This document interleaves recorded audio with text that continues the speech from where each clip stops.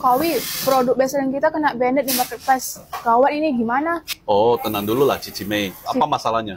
Situasi kayak gini masa mana bisa tenang Kawi? Ini bestselling kita. Penjualan marketplace anjlok banyak. Oh, produk mana yang kena ban? Kopi jantan dan kin jantan. Oh, eh, alasan kena ban? Apa? Kata jantannya bermasalah kok. Katanya sih mengandung makna obat kuat gitu. Gara-gara lagi viral kasus kopi untuk kejantanan. Jantan kita kan tidak mengandung obat kuat atau bahan kimia lainnya. Iya, gimana nih kok udah seminggu penjualan anjlok. Nah gini, Cici Mei, aku mau Cici Mei appeal dan hubungi marketplace ya. Pertama, bahwa kopi jantan itu adalah kopi piberi, kopi biji tunggal. Nah, sama kayak salak jantan. Jadi, kopi yang biji tunggal juga disebut kopi jantan. Ya, di Jawa disebut kopi lanang, kalau di Sumatera disebut kopi jantan, gitu loh. Jadi tidak ada hubungannya dengan obat kuat atau penambahan zat kimia.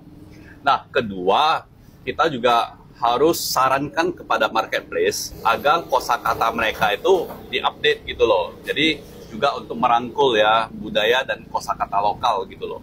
Jadi kalau seumpamanya ada kata kopi jantan, mungkin mereka harus double two step lah untuk verifikasi.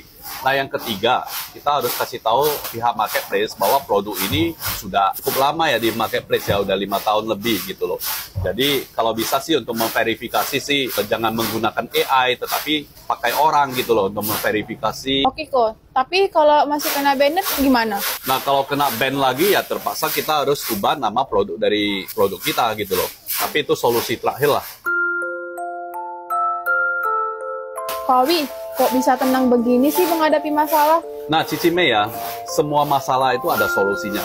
Nah, dengan Cici Mei bisa mendeskripsikan masalah dengan jelas, Cici Mei sebenarnya sudah menyelesaikan setengah masalah.